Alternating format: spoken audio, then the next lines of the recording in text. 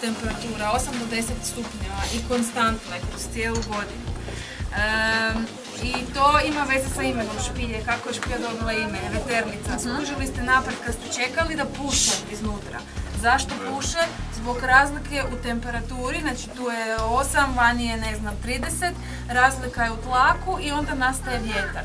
Zimi bude obrnuta situacija, ali, ne, ali nije toliko e, drastično, nisu toliko velike e, tempera- temperature. Čuli za Tetis, onaj ocean, znači nekad davno da je, da je zemaljska kugla, znači bio je Tetis, veliki ocean, a svi kontinenti su bili na, zbijeni u jedan Pangea, pa su se počeli razdvajati. Ovo je nekad bio dno tog praoceana, a kako to znamo? Zato što tu imamo fosilne ostatke. E, Evo, jel vidite tu imamo fosil od Jakobove kapice. Sada nakon ovih fosila spuštat ćemo se stepenicama, doći ćemo u jednu veliku dvoranu. To, ta se dvorana naziva skupštinska dvorana. Zašto?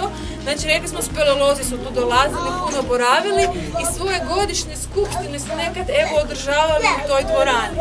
Inače, u toj dvorani, na dnu dvorane, je i najniži dio špilje veternice. A još nešto sam vam tamo trebala reći, ona prva velika dvorana zove se koncertna dvorana. Zašto koncertna? Dok špilju nije, nije bila pod parkom, tamo su vam se održavali božićni koncerti usred zime. Bilo je oko 200 ljudi, e, e, e, klasična glazba se puštala, a sjetite se što smo rekli da se tu zimi dešava, hiberniraju šišmiši. Znači to jedno s drugim nekako ne ide. Kad je špija došla pod park, onda je park rekao ne bu više, ne bu više koncerata.